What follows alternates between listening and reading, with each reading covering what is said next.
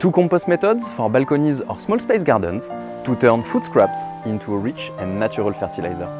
I collect food scraps and coffee grounds to put them back in the food cycle, helping me to grow food.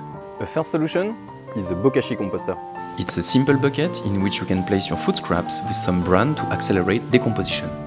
You will obtain a compost tea that you can mix with water to fertilize your plants. But you can also reuse the pulp when it's well decomposed. Bury it at the bottom of your containers. It will act as a slow diffuser of nutrients to grow your plants. The second solution is a worm farm. I absolutely adore these wonderful creatures which will turn our food scraps into gold. Place your food scraps on the upper level and you will get worms humus at the bottom level.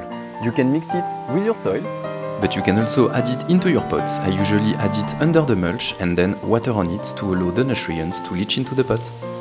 and green love to you.